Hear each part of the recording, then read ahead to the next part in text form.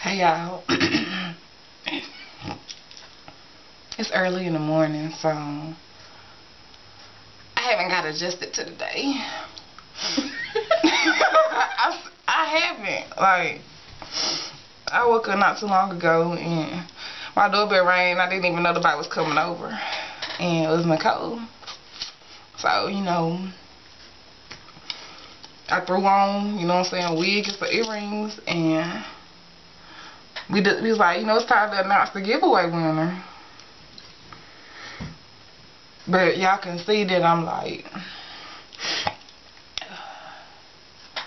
Nicole, you want to announce the winner? Doo doo doo.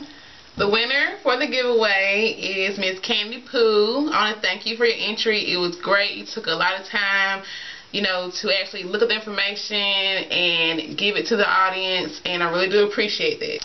Okay, congratulations and thank everyone who entered. Congratulations.